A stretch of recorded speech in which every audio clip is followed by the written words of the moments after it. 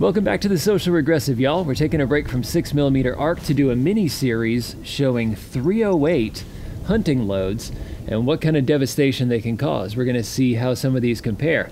I've got some Winchester loads back here, but first I'm actually going to take a look at a hand load that I've put together.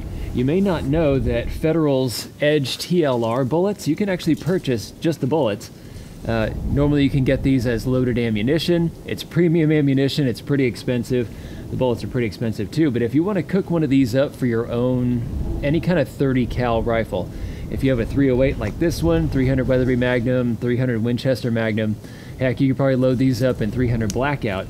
These are bonded bullets with a long ballistic tip, a very high ballistic coefficient, a boat tail. These are designed to fly through the air extremely well and then to hold together and make a big devastating mess when it hits. So today we're going to group these, see how they group up on paper. We're going to test the velocities and see how closely my hand loads are, are still performing. And uh, we're going to hit some gel, see what kind of a mess we can make. Today's rig is a Stevens 200 that I cooked up a while back.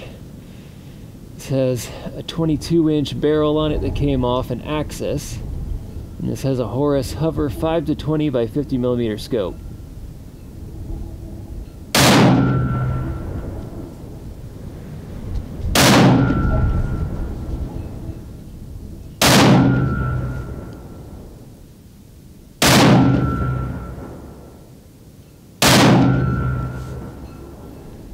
2538. So velocities, okay, uh, they're not the best, but uh, not too shabby.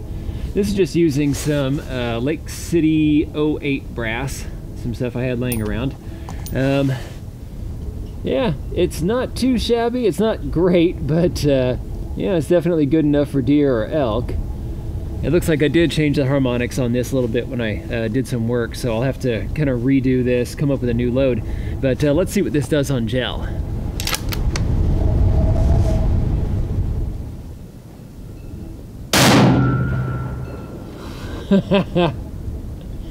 oh, that shook him around.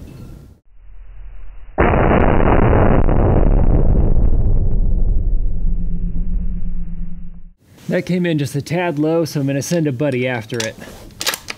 See if we can pick it up just a little bit. The horizontal was good. there we go. That's a good spot.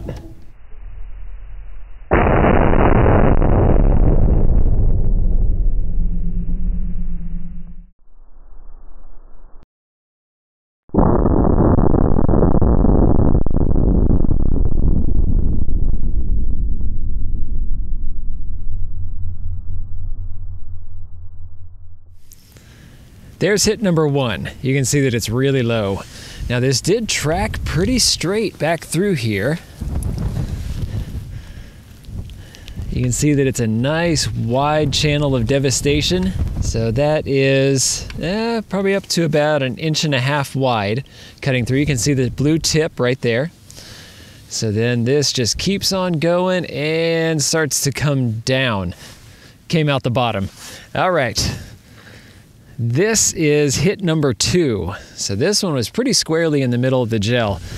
Uh, some bullets are just a little bit crazy and they don't want to stay in the block as you'll see here, but uh, it looks like this opened up very quickly, about an inch in, and this is just huge. This is a massive three-dimensional channel. This was a ton of energy, and that's why you see all this soot in here. It would have expanded this gel really far, atomized a bunch of it, which is flammable, and uh, when it collapsed again, it would have exploded like a uh, I don't know, like a, a, diesel cylinder when it all compresses, that it would uh, actually catch fire. So that's why you see all the soot. Uh, this continues cutting, kind of a leaf pattern. Maybe it tumbled back through here and then just blasted right out the top. There's that blue tip, and you can see that it gets just massively wide through here. And that's in all directions. This is not something that's just kind of a leaf cut.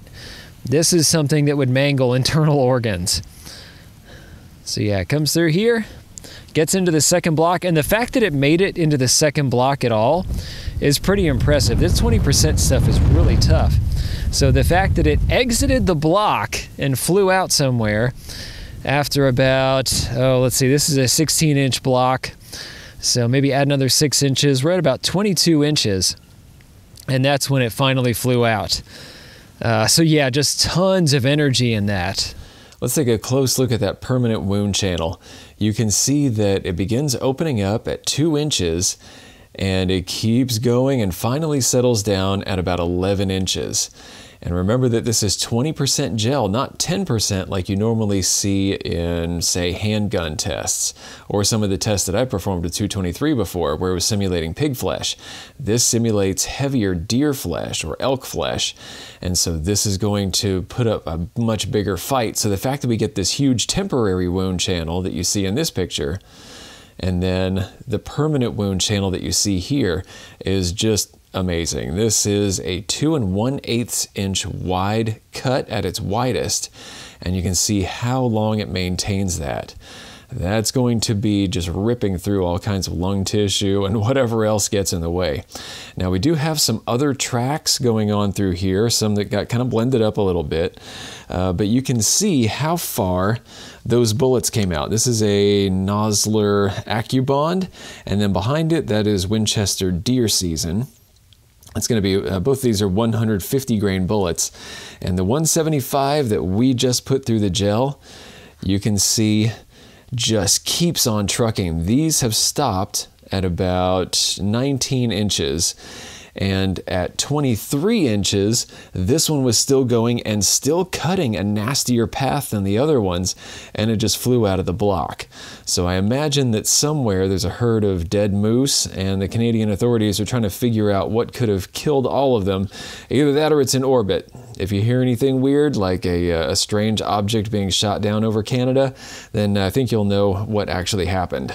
This is the only thing that seems to have sheared off of that bullet. Everything else seems to be clean. Yes, it's really, you know, dirty through here from soot, but I don't see any other bullet parts. So with that in mind, I think that the Edge TLR, or the uh, Terminal Ascent as they're now called, that this is going to be the standard if you want to really put a hurting on an animal and make sure that it goes down with one shot. This 175 grain is going to be amazing and everything from, yes, this is, you know, designed for those big magnums, but this is one that, as you can see, is going to perform really well in 308. And don't forget its big brother, this is the 200 grain. And so this is going to have even more of that momentum that it can put through the target. And this is one to seriously consider if you're going to be dealing with bigger, heavier animals. If you want to step up to those magnums, don't forget that Federal actually has this loaded ammunition that you can buy, or if you want to purchase the bullets and load them up yourself, help yourself. Thanks so much for watching, you guys, and make sure you like, share, and subscribe so you don't miss the next video, which is going to be the Nosler AccuBond, the daddy. Thanks for watching. If you liked this video, be sure to like, share, and most importantly, subscribe. Even if you didn't like this particular content, go ahead and subscribe. There's probably something coming that's more up your alley. Check out this playlist right here. This is going to have videos in a similar vein to what you just watched. These two videos we cherry picked for you. And finally, The Social Regressive is on Patreon. So, you can become a patron of the destructive arts and earn some goodies while helping us to provide high quality videos just by kicking us a few bucks a month. Thanks a bunch for your patronage.